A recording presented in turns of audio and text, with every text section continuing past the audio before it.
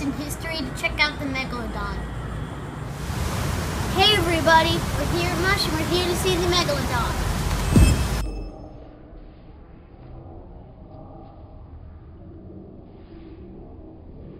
Megalodon's jaws were this big. Massive jaws. Megalodon was alive, it was the top predator. That means it could eat whatever it wanted. Megalodon probably ate whales and really, really big fish. This is how much a megalodon would eat in one day.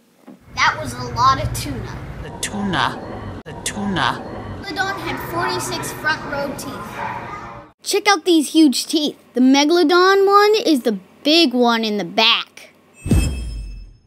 Guess what games megalodon show up in? Shark Hunting, the Great White video game, Ocean Hunter arcade game, and Dungeons and Dragons fantasy role playing game. Cool.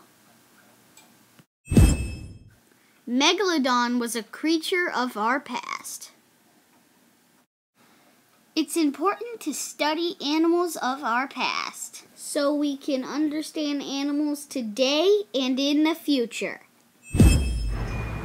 Megalodon came extinct 2 million years ago. Even the top predators can become extinct.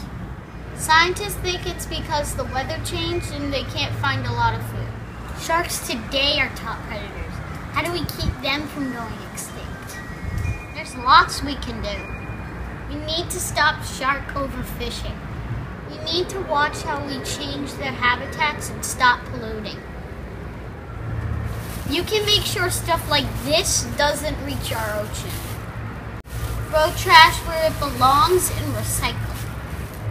You can also help by not eating threatened fish. Check out my website for a list of fish on the brink. See you next time. Bye.